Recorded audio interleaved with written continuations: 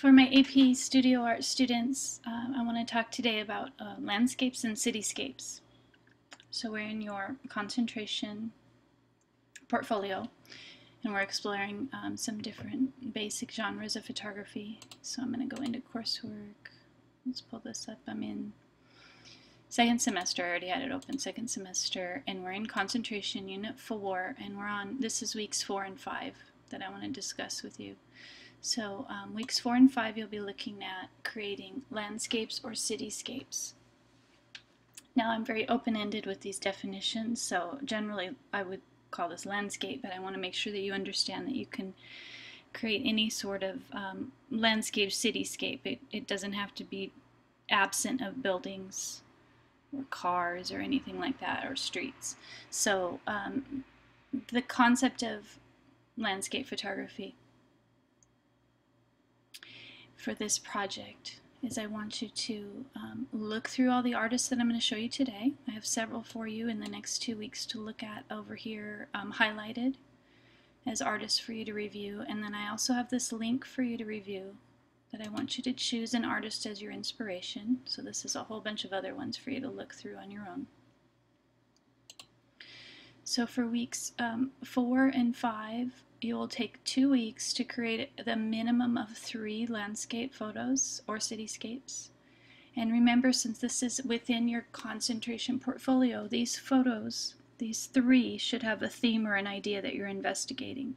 I would recommend that you take several, dozen, hundred at least, and narrow it down to your three best that you actually turn in. So think of an idea or use one of my artists as your inspiration, um, as your guide. So it can be your starting point, or you can even just copy their style and make it your own.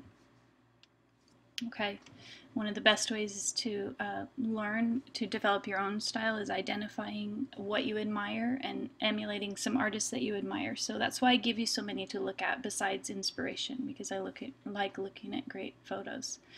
So you have two weeks to shoot this. But I, I, I'm giving you a lot of time, obviously, with all of these concentration photos because I really want you to um, take the time to do a great investigation of your idea or your theme. All right, let's look at some examples. Um, I'm in week four right now and I have all of these artists for you to review as well as the link on Monday will be your discussion, Friday is your artist journal. Um, I have the very first link in landscape photography, just a, a, large collection of great examples of landscape. These are more traditional landscapes that you'll look at um, that I found for you. So look through these ideas and think about how, the composition, what you might like. If you see one that just looks beautiful to you, what might you do to emulate that? Okay. Um, here's another idea. This is specifically to cityscapes. Um, and this particular photographer is, this is a great example of a concentration of cityscapes.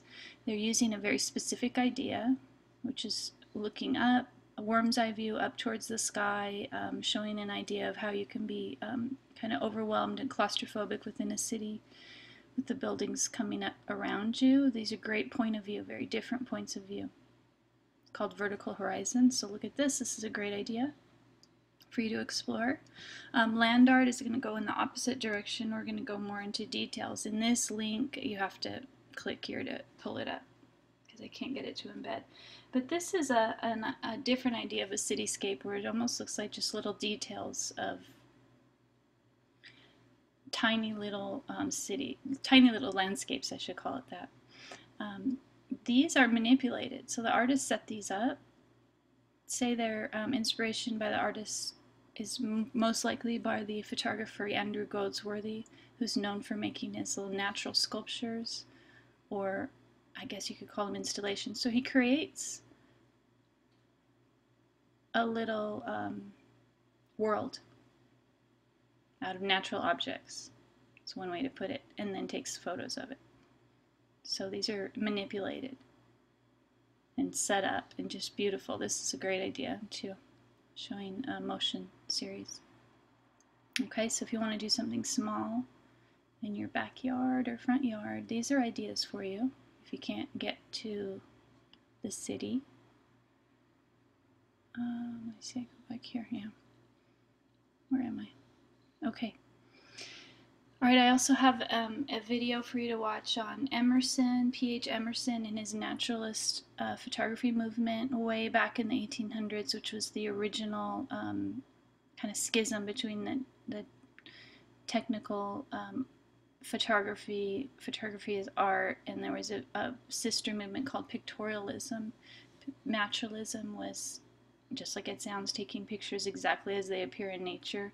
Pictorialism was more of the style of um, emulating paintings, so setting up like beautiful paintings. So naturalism is sort of the earliest landscape photography is one way to look at it. All right, this artist, Heydrich, some great work on how you can show landscapes, cityscapes. These have a really different feeling to them and he has quite a few projects for you to look through. Another one that I really liked. I love these creepy abandoned feeling because you can get these at certain times a day. This one right here. What was the other one I wanted to show you? I think it was, was it this one? They're all so good. There's a whole bunch to explore. Yeah, this one too. Just showing different landscapes, cityscapes in a different way um, he really is abstracting the image, making this a work of art and using the entire rectangle of space and showing us the negative space as part of the image here. That's what makes it really beautiful. Okay, lots of ideas for you. You really have to be careful setting your compositions. Some great ideas. Similar to his other project. Okay, and then you'll discuss the um, photograph by Gursky for your week four. Let's look at week five. So your project is due by the end of week five. Ansel Adams is probably the best known um, landscape photographer. When people think of landscapes, they, he's usually the name that comes up first.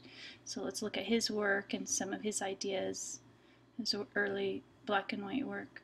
Beautiful. Sky series, there's a different way to look at um, landscapes.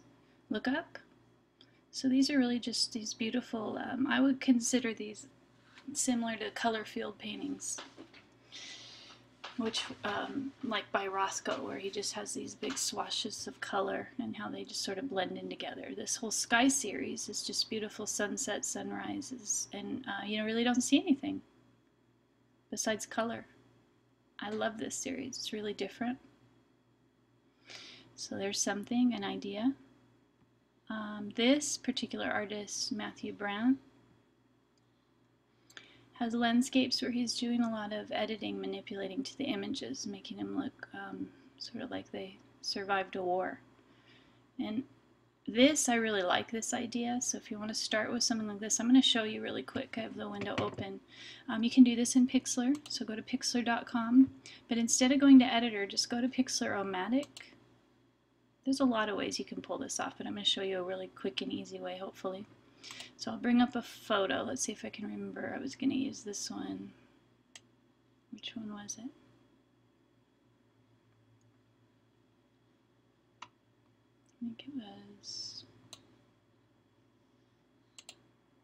Nope. No. Where was it? This one. Alright. Alright, so this is uh, a landscape. I've already obviously manipulated the color a little bit. Uh, actually, a seascape. This is a seascape. Um, when you're in Pixlr-O-Matic, you can play with different filters like you do with um, Instagram. And you can try to find one that you like if you want to play around with it.